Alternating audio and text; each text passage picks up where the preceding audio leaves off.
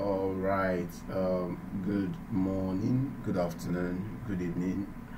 Um, today's um, tutorial will be handling line sizing with aspen HYSYS you understand that before you transport your fluid through a pipeline or a piping system it is necessary that you size your line to know the internal diameter of the pipeline or the, pi or the piping system that is required to transport your fluid.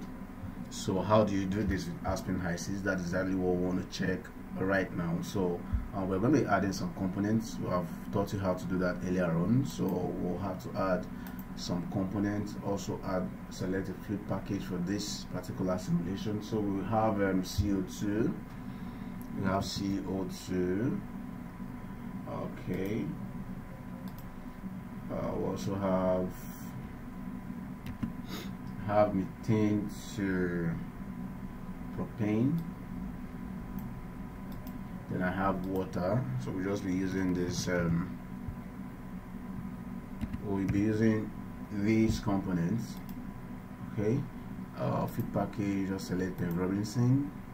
Uh, you should know the reason why I'm doing that. If you don't then go back to my video on how to select the appropriate fluid package for a simulation okay you'll be able to learn how to do that. So Peng Robinson and um, we're ready to go to the simulation environment. Okay so what we want to do is that we want to find out the appropriate fluid package. Sorry we want to find out the internal diameter for the pipeline that we can use to transport this particular fluid. Okay so this is what we want to do. We have um, stream at point A uh, with a pressure of 60 bar and we're expecting an arrival pressure of about 50 58 bar all right through a four kilometer pipeline.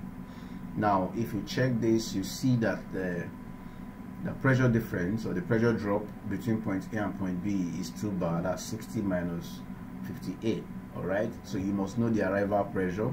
You must also know the um, uh, the entire length of the pipeline that you will likely or you're likely going to use.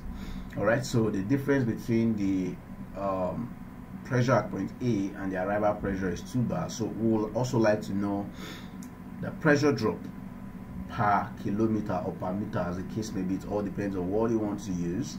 So at this point um, we have four kilometer pipeline the difference is 2 bar so 2 divided by 4 is 0 0.5 so we have 0 0.5 bar pressure drop per kilometer. So for every kilometer the pressure drop is 0 0.5 bar all right? So this is exactly what we want to do. All right so we have to add our stream.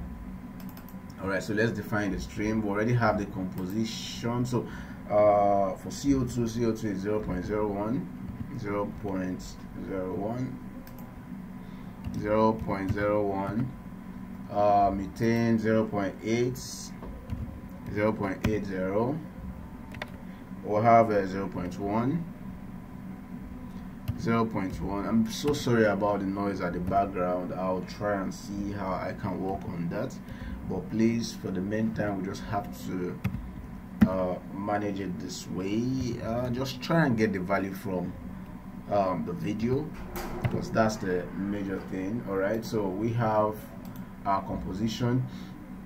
Remember we what we have here was it? Uh, excuse me. Okay so we have 60 bar remember? 60 bar. 60 bar right? So here we have let's say 25 degrees celsius okay uh flow rate let's say we're using sorry i need to change this to si units. Uh si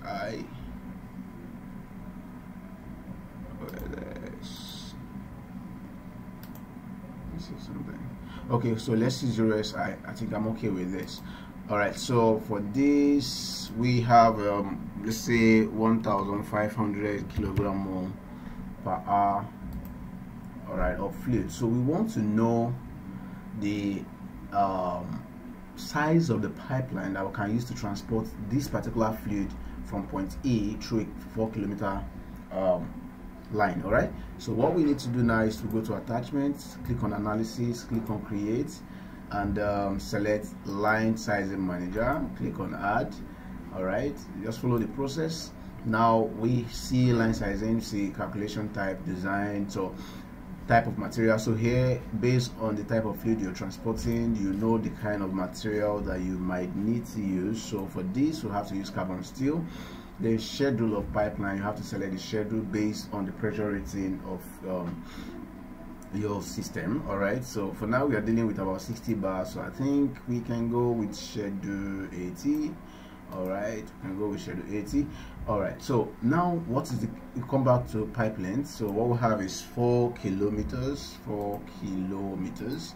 All right i think that's all. Then we come over to settings. Remember let's go back to this. About uh, as you can see uh, pressure drop per kilometer is 0.5 bar. So we come back to this environment. Uh, okay click on settings. That from sizing you go to settings maximum pressure gradient kilometer per meter. So kilopascal per meter? So what we'll do here is we type 0.5 then select our unit which is bar per kilometer. So as you can see this is solved. We go back to sizing. So what if you look at this properly you see that the nominal diameter that will be needed will be about uh, 250 millimeters. Uh, the inside diameter is about 242.9 that's 9.5 approximately that's 10 inch pipeline. That's actually what you will need and you need um, a pipe wall thickness of about 15.09 millimeters. So you see the size and the thickness of the pipeline has already been calculated for you. And also um, the velocity. All right so for velocity we have uh, about 9.68 feet per second all right so it will also help you to check the velocity of the fluid to know if you have unnecessary noise in the pipeline or um, in the course of operation of the pipeline. So with this you have been able to appropriately size your line. You know the nominal diameter the uh, that's the um, outer diameter. You also know the internal diameter. You know the pipe thickness. You know the velocity of the fluid. And um, you see uh, you check the criteria is the criteria for this size in met as you can see it's met now the flow regime is a stratified flow.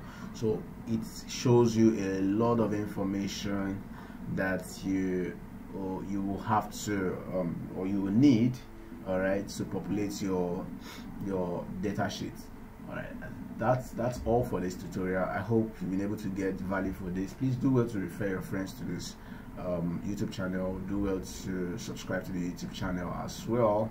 And um, uh, thank you very much for always coming back to check out for new videos. And i promise to keep updating new content. Um, i'm quite free this period. All right thank you very much. Thank you. Thank you once again